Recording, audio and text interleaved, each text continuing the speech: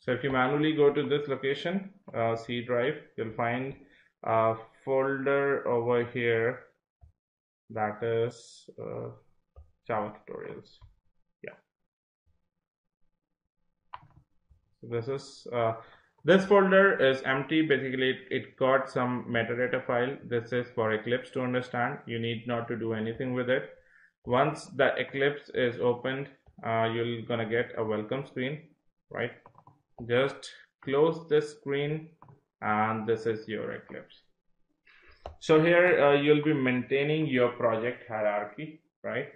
Uh, so whatever project you're going to maintain, uh, the hierarchy for that project will be maintained in the project explorer. Here you're going to write some code and here you're going to get the output of that code. Now very first thing uh, we're going to do is to create a new project. So since we are working on Java, uh, Eclipse is uh, used for many other languages as well, right? So since we are working on Java, I'll be creating a new Java project. So how to create a new project, new project, I'll just right click over here. I'll go to new and then select the project. So as soon as I select the project, I'll get an option Java project. I'll click on this. I'll click on next and uh, give some project name. So I'll say Java lecture 1 and click on finish. You can give any name to this project. So I'll just click on finish and click on yes. So you'll see uh, the Java project has been created over here. If I expand it, you're gonna see uh, a source folder over here and you're gonna see the Java system library JRE files, jar files over here, right? So this JRE uh, adds in automatically as soon as you create a new Java project, right? It basically contains all the Java libraries that you required when you're working on Java, right? Now this is a source folder. Now if, if we again go back to uh, the actual location where this project is, you're gonna find this in this workspace, a Java lecture one has been created. If I open it, you'll find a source folder, a bin folder, right? The source folder is basically whatever code that we're gonna write. The dot .java file will be maintained at this location. And similarly uh, to that uh, Java file, a dot .class file will be maintained under the bin folder. So right now both folders are empty. Right. You need not to worry about these folders, these things. These are basically used by Eclipse. Right. The only thing you need to work on is the source folder. So whatever that you're going to create will be stored inside this source folder. Now, uh, before we start writing Java code, we first need to understand the concept of classes and objects, right? So Java is purely based on uh, the OOPS concept, right? And uh, over here, if I open up the next lecture, uh, PPT, sorry, the PDF file, right? You'll see, uh, we're gonna see what a class is and what an object is, right? So Java class can be defined as a template or a blueprint which describes state behavior of its object. Now what does this mean? Let's uh, take up a scenario. Let's say uh, there is a car manufacturing company, right? That manufactures the car, right? Now every car you can see has uh, like four tires, has a body, has two tail lights, right? So now the car design is based on some blueprint, right? And uh, based on that blueprint, the cars are manufactured, right? So that blueprint, we're gonna call it as a class, right? So uh, cars could be of many types. There, there could be different manufacturers. Uh, the, the the tires could be of a different manufacturers, right? Some some cars uh, give more mileage some cars give less mileage. So those are called as objects. So the designing of this car is based on some blueprint. And here we refer the blueprint as a car. And the cars that are being manufactured is the object that's been generated from that blueprint. Right? So the manufactured cars are the actual objects right? So in other way, words we can say that a class is used to create objects. Without a class there cannot be any objects right? Now uh, let's take uh, one more example. Let's say uh, I have a form right which is basically a, a template. In that form I have certain fields right fields like name roll number address date of birth right? Now I distribute uh, these forms amongst various people right? And what they do they, they fill up these forms and they send it back to me. So when i was distributing that form that was basically a template right? That was a standard template. And when i got it back from everyone right by filling up all the information so those become an object right so that is what we have said that a class can be defined as a template and it is used to create object. So without a class, an object cannot be created. Uh, now let's say I have a class over here that is tree, right? Now again, I have some attribute height. I've given that attribute to this tree and I have uh, defined the height of this tree as 2 meters. Same way, I have created another instance of this class and here uh, I have defined the attribute height as 5 meters. Same way, I can have one more uh, instance of this class, right? And I can define the height as 4 meters, right? So I can have n number of instances or we can say n number of objects created from this class. So these will be the objects that are being uh, created from this class and this class will actually act as a blueprint. So the process of creating an object from a class is called as instantiation and uh, the object itself is called as an instance of this class. Now uh, let's see how to create a class. So uh, whenever we uh, we are creating a class, we have a keyword that is class, right? Now let's see. Uh, let's go to Eclipse and create a new class. Uh, how we going to create a new class? I'll just right click on uh, on the source folder. I'll say new and I click on this class, right? Now we get all these things over here. What is the package? Uh, what is the name? and what are all these things so let's let's just not worried about all these things at the moment right i'll just give the class name as day one you can give any name to this class right so i'll just click on finish and as soon as i click on finish you'll find a sample code over here. Public class day one right? Uh, basically a class is you can just write it like this. Uh, class day one and this is uh, the open bracket and the closing bracket right? So let's see again. Uh, class is a keyword right?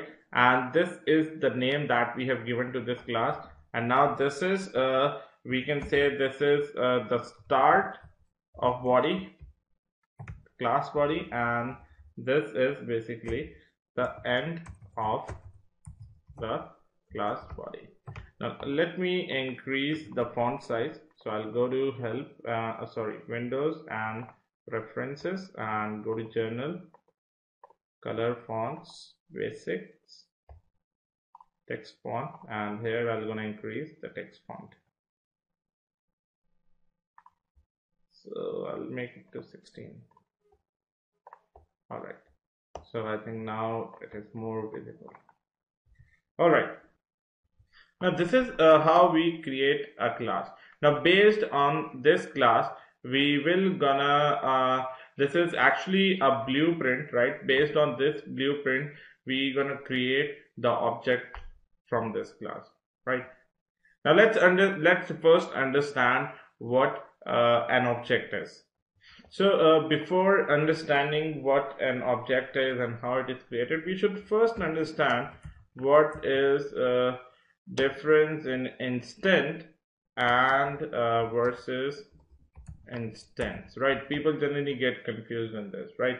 So instant is uh, it is basically uh, with respect to if you're talking about uh, with respect to time so that is uh, what we call as instant. And it has nothing to do with java right? It has nothing to do with objects right? So uh, objects are basically instance right? Instance is nothing. It's uh, like you are making a copy or uh, you can say clone. So when you are creating an instance of this class it means that you are cloning that class or you are creating and uh, creating a copy of this class right so this is what we we have seen over here uh, like when I was creating this tree, uh, I've defined the height as 2 meters. I was basically copying this uh, tree and giving it uh, the parameters as 2 meters, right? And same way I have created another clone of this tree and given this tree a height as 5 meters, right? So just uh, I have done changes to that clone, right? So I've just uh, clone this class and I've done some changes and I have given the height as 2 meters to the first one and 5 meters to the third one. Similarly, I can clone this class n number of times and I can give different behaviors uh, to uh, the clone and that is what we call object uh, that is being formed from this class. And this process is uh, called as a instance of a class right? Now let's see uh, how the objects are created uh, like uh, we understand what the objects are. Objects are nothing but the instance of a class right? A single class can create any number of unique uh, objects right? So so uh, let's say I have a class student over here and I have all these records, name and roll number, right? Let's say I give uh, a name as uh, Jenna and a roll number as uh, uh, one, then uh, an object is formed, right? Similarly, I give the name as John and I give the roll number as two, the another object will be formed. Similarly, I can create n number of objects from this class and there, there is no limit in object creation. I can I can keep on creating objects from this class. So uh, it means that had there been uh, no concept of classes and objects, then we would have uh, uh been writing code uh, to uh, do all these things separately for all these people, right? We need to write the same code for the first person, the same code for second person using all these attributes right? So with the help of this class and object concepts, it makes our life very easy, right? So that we can treat this class just as a template and based on that template, we can uh, create as many objects as we want. So uh, first of all, we, we're going to see how we're going to create these objects, right? So in order to uh, run your code in Java, you need to have a main method. A main method is something like this public static void main right? This is a method uh, you need not to worry about what public is what static it is what void is right? We're going to cover all these things in these tutorials right? So the main thing we need to know that in order to execute any code in java we need to have this main method. So let's see uh, how we're going to create an object of this class right? So i'll just uh, rename the class. I don't give it uh, day one I'll just give it the name as test right? And I'll save this. All right. So I'll give public test public class test right? And I'll rename this to test. So don't worry about it. What public is I'm gonna explain it to you later on right? So how to create an object of this class? So I'll say test t equal to new test right? This is how we're going to create an object of this class. Now what is the object over here? What is the object over here? Many many people get confused in this. People say most of the people say that this is an object. No, with, without this as well, I can create an object of this class. If I remove this, this is also an object of this class, right? I can write this n number of times. And n number of times, an object of the class will be created, right? Now, uh, let's see over here, uh, if we talk about objects, uh, this new is the keyword. Uh, whenever we say new, then a new object of this class is created, right? So each time when we say new, each time uh, a new object of that class is created. So it means that if we, if we want to see uh, how many objects a class can create, so what I can do, uh, uh I'll just remove uh, all these from here. I'll just uh, write a for loop. Don't worry about it, what the loop is, right? I'm going to explain you. Just see what I'm doing over here. So I'm actually writing infinite, infinite loop, right? And inside this I am just creating the object of this class. And what I'll do I'll uh, uh, simply print I'll write system.out.println this is how we're going to print in Java. And I'm going to print the numbers of times this loop is uh, executed. So as soon as I run this let's see as soon as I run this it will gonna tell me how many times an object of class can be created so when I run this, you can see it is going in uh, 100,000 millions, right? Till the time my memory will gonna support, it will gonna create an object of this class, right? So there is, there is uh, no limit to it, right? This is a, a, a button through which we can terminate this program. So it can create an object n number of time of a single class. So we can we can create we can clone this class n number of times. We can clone this template n number of times. Right. So there is no limit up to how many objects you can create from this class.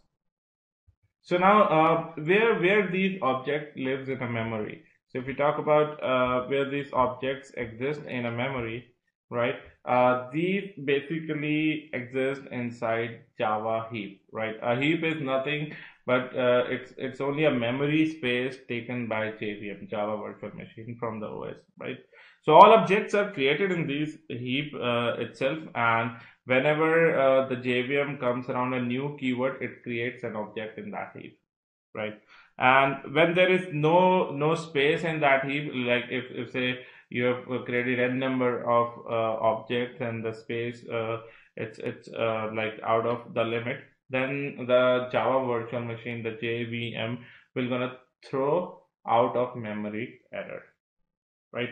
Now uh, what is this jvm and how you gonna install it? How will you make sure that jvm is installed on your machine or not? So will you ever gonna install this jvm right? You're never gonna install it right it will uh, gonna come uh, either let's say uh, you're gonna install JDK JDK or you're gonna install uh, JRE right? So uh, when you install JDK it comes along with JRE now JDK uh, contains the Java compiler since in case you are a Java developer or you're writing a Java code so you need this JDK, the Java compiler. Plus, uh, once you download JDK, it comes along with JRE. Now this JRE uh, comes with JVM and some library files. Right. Now, uh, you might have seen uh, on some website uh, if, if you're running something i mean uh, some website is running some special player right? It wants you to install java right? In that case it installs jre on your machine. It does not install jdk so jre is uh, where you wherever you want to execute the java code right? The java program you need this java runtime environment right? So once you download jdk it comes along with compiler as well as the java runtime environment now, uh, this is how uh, we have seen uh, how we uh, create first object from, from a class, right? Now, uh, garbage collection. Now, what is a, a, garbage collection? It is basically a many mechanism uh, provided by JVM. Now, again, JVM is doing some work over here. It's actually uh, cleaning out uh, the heap. I mean, whenever, uh, like, uh, let's say we create new objects, right? So, if any object does not have any reference variable attached to it, then JVM will gonna uh, put that object inside the garbage collection right? It, it will to clean out the heap. It will remove it from the heap. Now what is uh, this uh, reference variable? Now which reference variable we are talking about it talking about over here? So let's say uh, let's say over here i have written new test right let let me comment out this so when i write uh, test t equal to new test. Now how Java reads it? This is uh, basically uh, a, a, a, like this is an assignment operator. So for the for the time being, what I'll do, I'll just remove this statement, right? Now this t, this t is basically we call it as a reference variable, right? Which refers to the object of this class. Now, now for the timing, I mean, just let uh, let me know whether it is uh, referring to any object or not. Now, let's say uh, uh, right now, if it is not referring to any object, then what should be there inside uh, this variable? Let's say if I uh, remove it from here and just paste it over here, right? And I'll write static, right? Now don't worry about what static is. I'm gonna explain it to you later on. So we'll we'll just see what the value is there inside this uh, reference variable. If it is not pointing to any object, if I just uh, print this t, and if I run this, see, it is going to print null. So null does not mean zero, right? Null means it's nullified. There is no value inside it, right? So, or uh, or you can say, let's say there are sometime, uh, uh, let's say if a number uh, 25 is divided by zero. So what is the output that you're going to get, right? Which is uh, nullified, right? Uh, infinite like number that you're going to get. So this is what we uh, got from here. This is basically null right? And what if I'll do uh, if I'll again take it from here right? If I remove it from here again and here I create an object of this test class right? So what I'm doing uh, first the left hand side will be executed and then the right hand side will be executed so what happens? I've created a reference variable for this class and when the object of this class is created the reference is pointed to the object of this class. Right. Now now when I run this you can see this is actually uh, printing the location where the object is being formed. Right this test is the class name and this is some hash code of which tells the physical location of the object in the heap all right now, uh, similarly, uh, I can create one more object uh, that is new test of this class, right? And I'll not point it uh, to any reference, right? I'll not create any reference. I'll not assign any reference variable to it, right? So which will be eligible for garbage collection? This is the one because this does not have any object reference pointing to it, right? So when we have created, uh, like when we have executed the loop and when we have created object from uh, this class, so you, you have seen there were millions of objects that were created, right? So all of them were eligible for garbage collection, right? And JVM uh, manages that garbage collection automatically, right? So we need not to uh, uh, like manually uh, add them into the garbage collection. Java manages it automatically. Now similarly, uh, I can also say t equal to null. Then this uh, object will now be eligible for garbage collection. Now, if I'm uh, uh, like mentioning garbage collection over here, I'm not going going to uh, like you're not going to see anything over here, right? It it will be uh, like uh, if this is eligible for garbage collection, then what uh, JVM is doing, it's clearing out it it out from the heap, right? So the memory that was allocated uh, to this object will now be gone, right? Now. Uh, let's come to variable, right? What are Java variables and its type, right? So variables uh, are nothing and just a namespace of a memory which stores the data, right? So there are basically two type of variables available, primitive variables and reference variables. And reference variables are those variables which stores only the address of an object. So reference variable as in this is a reference variable. It can only store uh, this uh, the reference of this object right of, of, of a class object right? I cannot say uh, t equal to 1 2 3 and I can store this number inside it. I cannot say it like this. I cannot say uh, test t1 equal to this right? You cannot store an integer or any string inside it right? I can say test t1 equal to t. See? It can only and only store a reference of the object of that class right so this is what a reference variable is and it is also called uh, as non-primitive variables so uh, before uh, assigning, before creating a reference variable, we have to specify which object of the class it is going to refer. Uh, and let's say uh, I create a new class uh, over here. I'll create a class with the name home. Right. Now over here, if I write, I can write home home h so here i need to uh, specify uh, this reference belongs to which class right i cannot say uh, home h equal to new test this is uh, for the time being it is not possible right uh, with the current example right so whatever reference that we are pointing to a class should be referred to the object of that particular class only. Right? When we uh, gonna see some advanced concepts when we start working on uh, inheritance and polymorphism then we're gonna see how we can uh, refer uh, a class uh, reference to some other class object. Right? So at that point of time we're gonna see that now these are just the fundamentals of java right?